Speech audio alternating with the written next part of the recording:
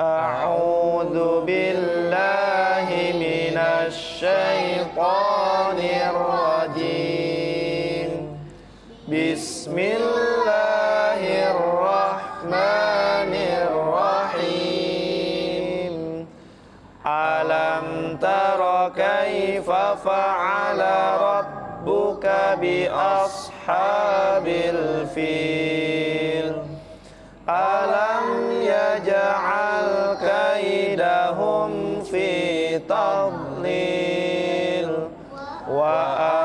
وأرسل عليهم طيرا أبابيل ترميهم بحجارة من سجيل فجعلهم كعصف مأكول Masya Allah, Alhamdulillah.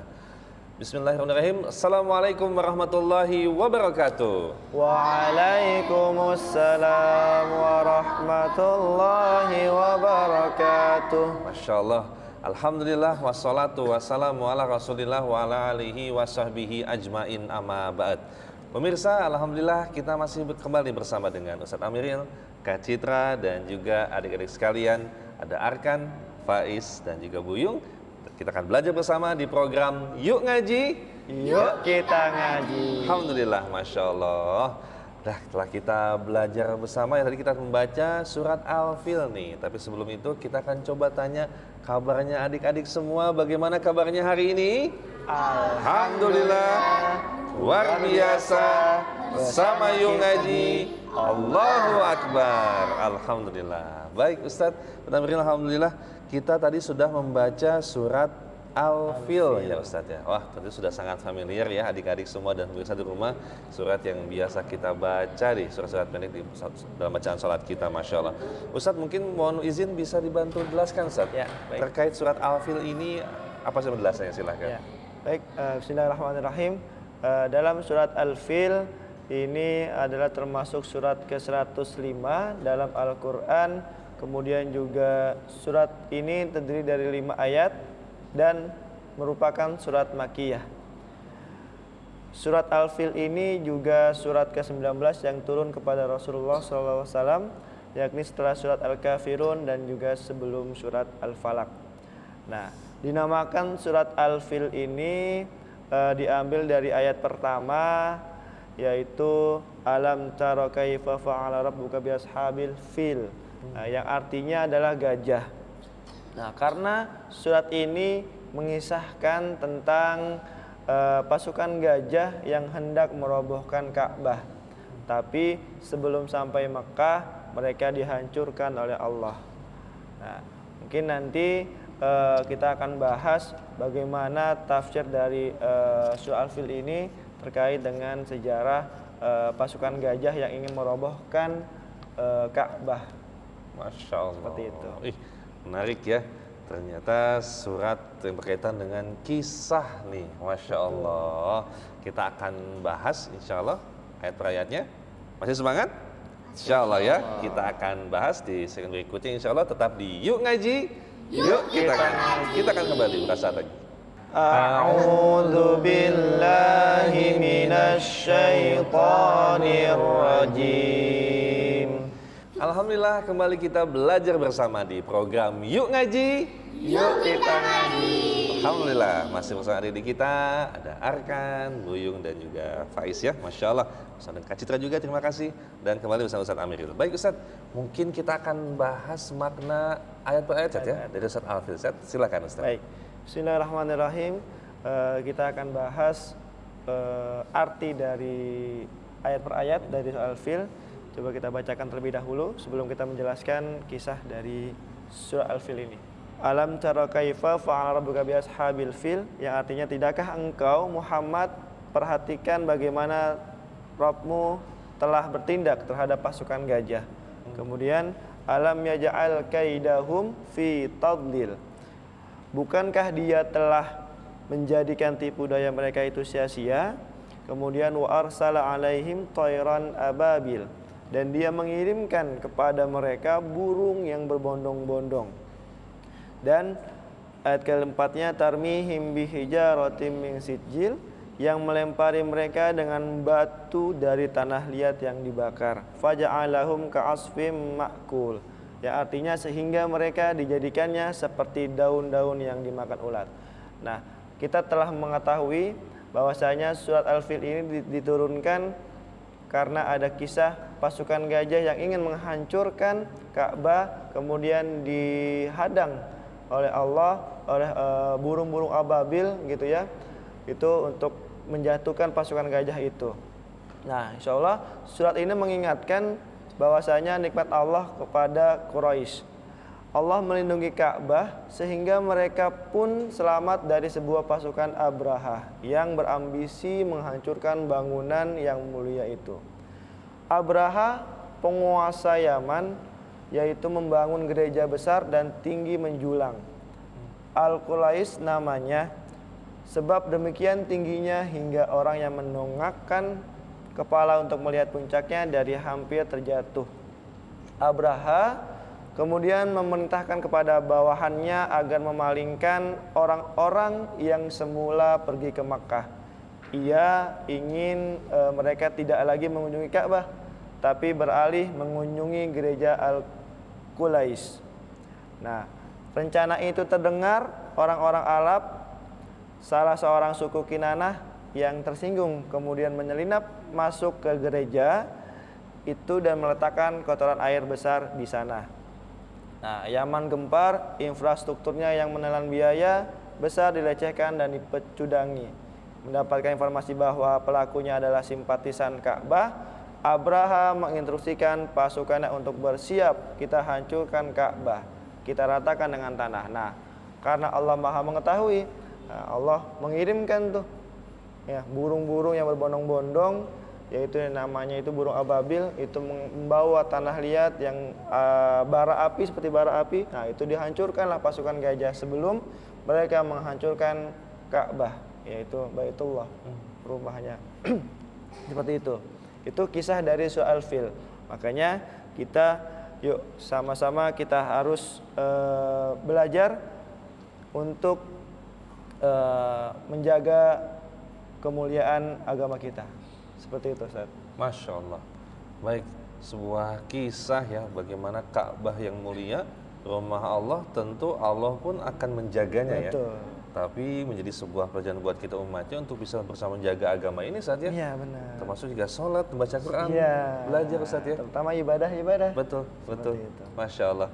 Baik, semoga apa yang kita pelajari pada kali ini menjadi sebuah semangat kita untuk bisa lebih semangat Amin. mempelajari Quran dan juga mengamalkan insya Allah. Baik, tentunya nggak lengkap nih kalau di program Yung Ngaji setelah baca Quran kita pelajari tajwid, tajwid apa, apa sih yang bisa kita pelajari siap Ustaz ya? Siap Insya Allah baik kita akan membahas tajwid setelah beberapa pesan berikut ini Insya Allah tetap bersama di program Yuk Ngaji Yuk, kita ngaji kita akan segera kembali Insya Allah أعوذ بالله من الشيطان الرجيم Alhamdulillah kembali kita belajar bersama di program Yuk Ngaji Yuk kita ngaji.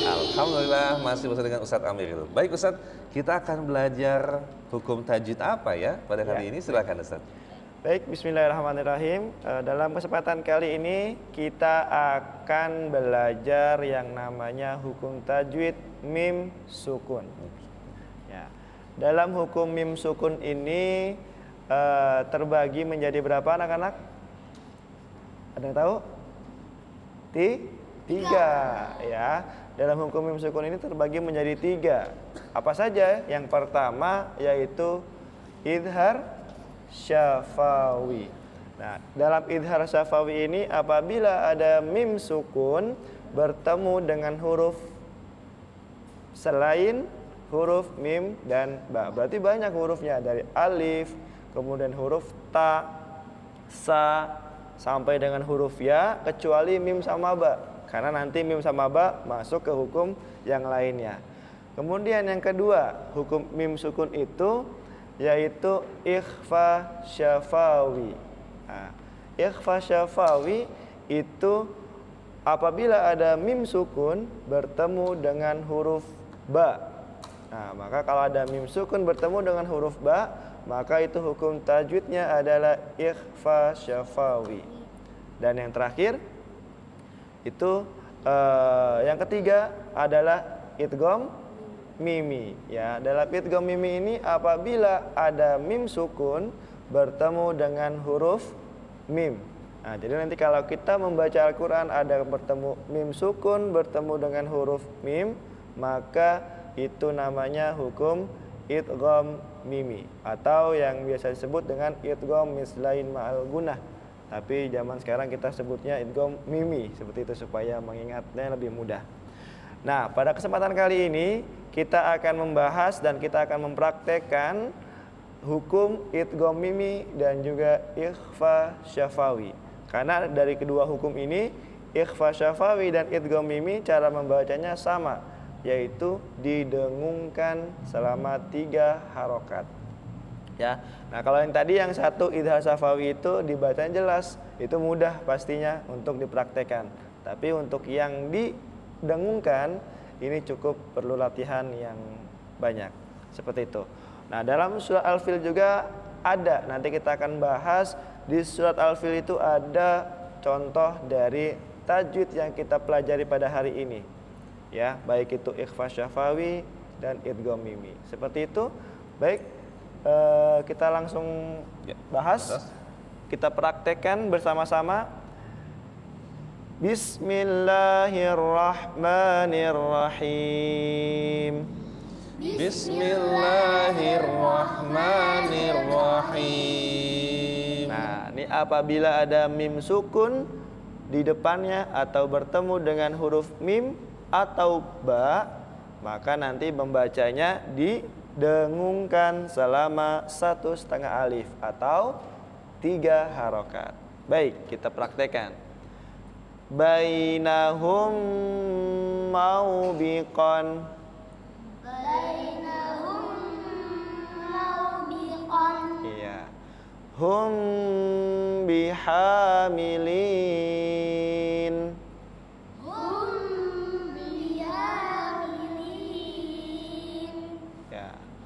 Antum mughnuna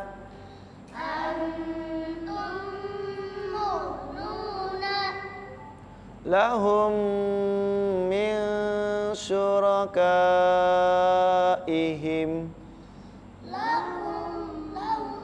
Ulangi, ulangi. Lahum. Ya, sekali lagi coba. Lahum min syurakaihim. Min syurakaihim. Ya, lagi. Qulubuhum munkiratun.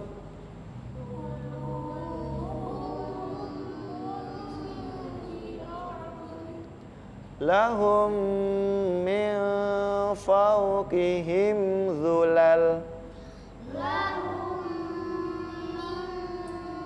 fawqihim zulal nah ini memang sudah lumayan berat ya. Membacanya harus perlu latihan yang banyak.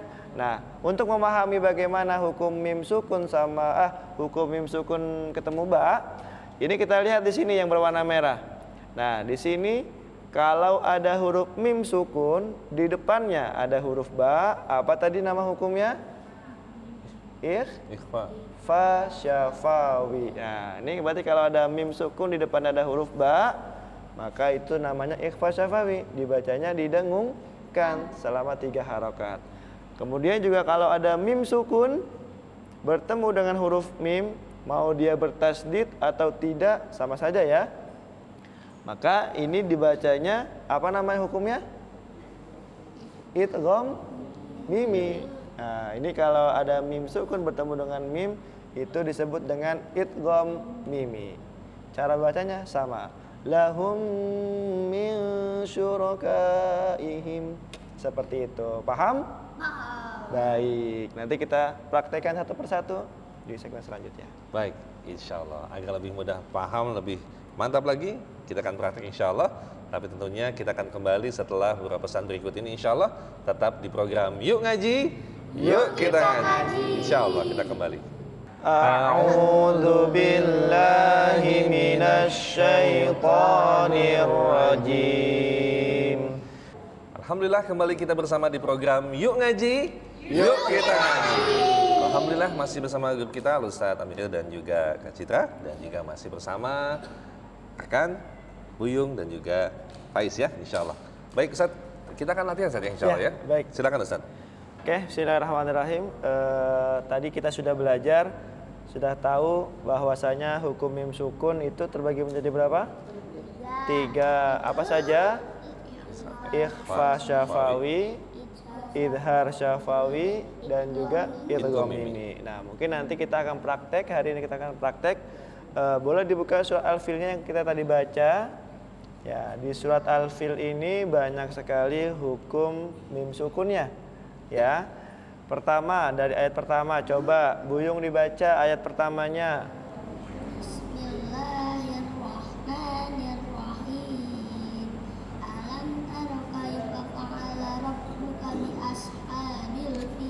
Nah, ayat pertama kalau Bujung cari di situ ada hukum apa di situ mim sukunnya? Tahu? Alam Alam taro. Ya, ada di situ ya. Mim sukun bertemu dengan huruf ta. Nah, apa hukumnya? Idhar, idhar syafawi. Nah, ini dibacanya dijelaskan ya. Alam taro. Alam taro kaifa fa'ala rabbuka bi ashabil fil. Nah, seperti itu. Coba Faiz, boleh dibaca ayat keduanya. Bismillahirrahmanirrahim. Alam yaj'al kaidahum fi tadlil. Nah, dari ayat yang Faiz baca di situ ada hukum mim sukun tidak? Ada. Apa ketemu apa? Mim sukun bertemu dengan huruf ya. Di situ ada alam ya ja'al. Apalagi itu hukumnya mim sukun ketemu ya?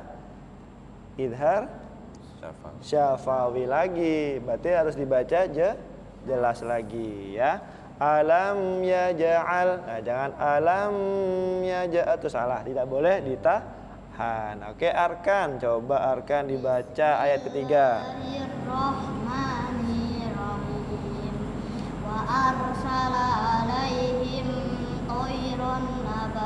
Coba ulangi lagi. Wa ar.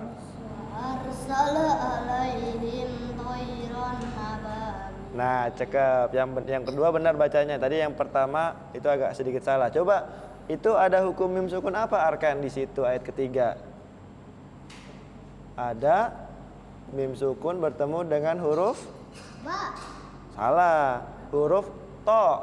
Nah, wa arsala alaihim tayran. Nah, tayran ababil. Nah, itu apalagi ya hukumnya apa tadi? Mim sukun ketemu to. Idhar syafawi lagi. Ya, Dibaca banyak jelas kan? ya? Ya, dibaca Jelas. jelas lagi. Itu sangat banyak di sini. Nah, baru nih di ayat keempat ada hukum yang kita tadi pelajari. Coba Faiz dibaca ayat keempatnya. Bismillahirrahmanirrahim. Tarmihim min.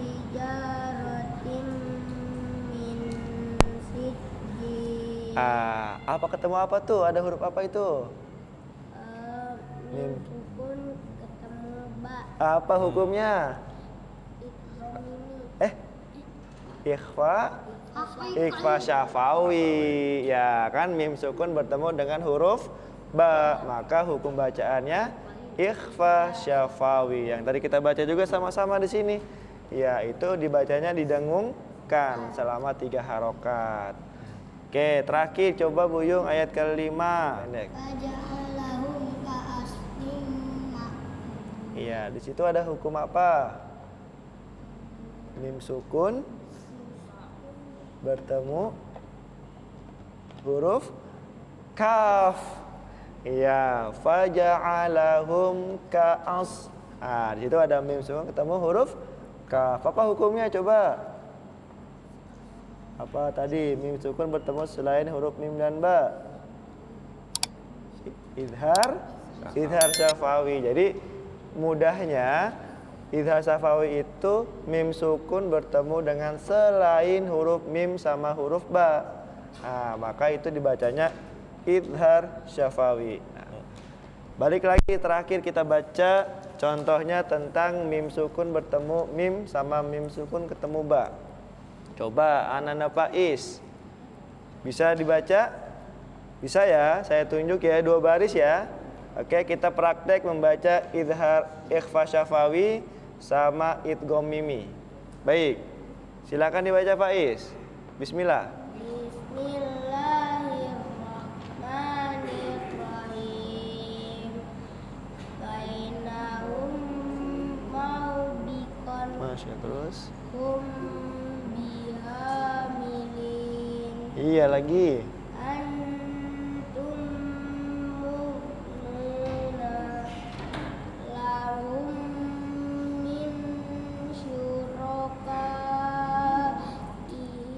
Masya Allah.